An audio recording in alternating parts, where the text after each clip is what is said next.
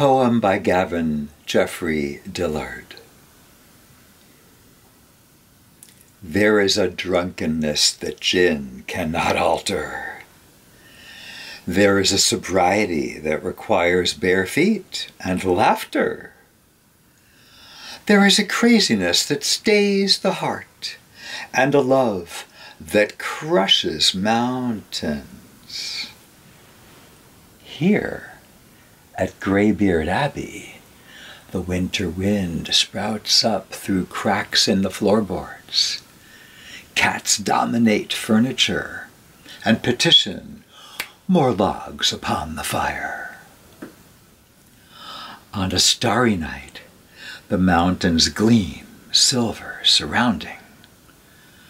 On a starless night, there is a brightness that obliterates shadows. There is a peace that comes with cat on lap and a book in hand. And there is a peace that levels battlefields. All I have is all I want. And all I want is what I have.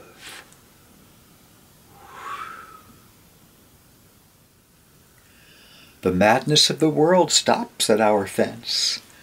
Sometimes, in the high poplars, the moon may perch for hours, flinging stars and comets to the ground, while denizens of the darkened forest pick up their flutes and drums, and neighbors sleep blissfully unaware.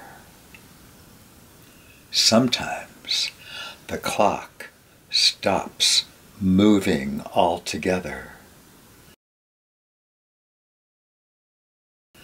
And within that stillness, all becomes perfectly clear.